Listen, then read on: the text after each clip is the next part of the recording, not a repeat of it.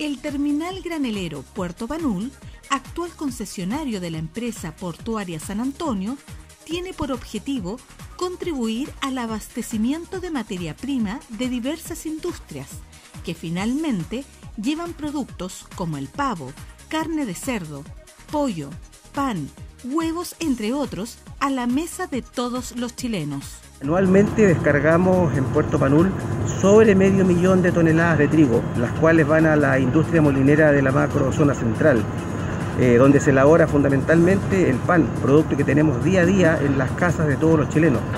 Una vez que las empresas encargadas de trabajar con la materia prima entregada tienen el producto listo para ser consumido, estos pueden ser exportados en contenedores refrigerados desde el puerto. Actualmente, el concesionario registra una transferencia anual superior a 3 millones de toneladas y 12.000 movilizadas diariamente, números que según describen son posibles gracias al trabajo conjunto entre los principales actores logísticos.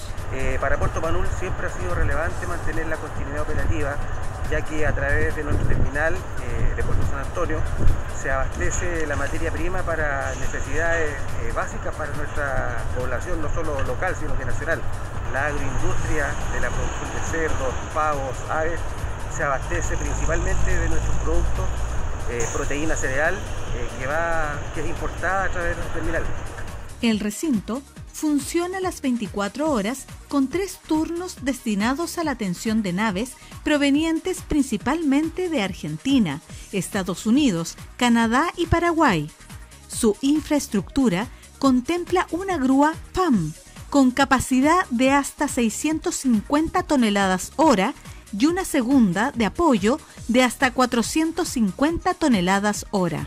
Nuestra continuidad operativa es posible gracias al eficiente desempeño de nuestros trabajadores portuarios, de los transportistas y de todos los trabajadores de la cadena logística.